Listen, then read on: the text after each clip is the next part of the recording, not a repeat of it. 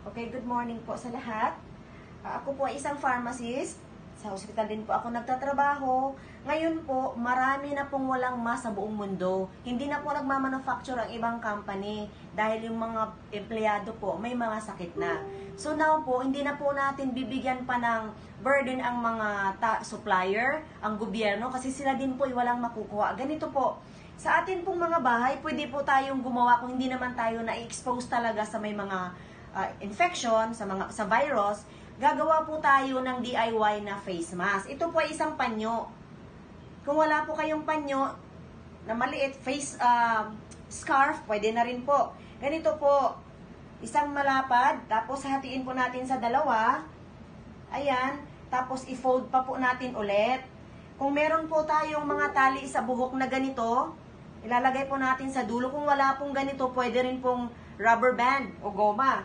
Ito po, gagawin natin, ipapasok natin. Ayan. Mas makapal po ito, pwede po nating laban, pwede po nating plansyahin pagkatapos. So, safe din po siya. Reusable po. Ito na po yung itsura niya. Ayan. Ayan ha. Tapos po, atin po silang pag Ayan, i-join natin silang dalawa. Ipapasok po natin yung isa dito. Ayan. So, ito na po yung ating face mask. Ayan na po, mas makapal po siya. O, isusuot po natin ha. Huwag na po tayo maghanap sa market. Wala po talaga makukuha. Kami po na, nasa hospital. Wala rin po kami makukuha. So, mag, ano na lang po tayo, mag-improvise. Ayan po.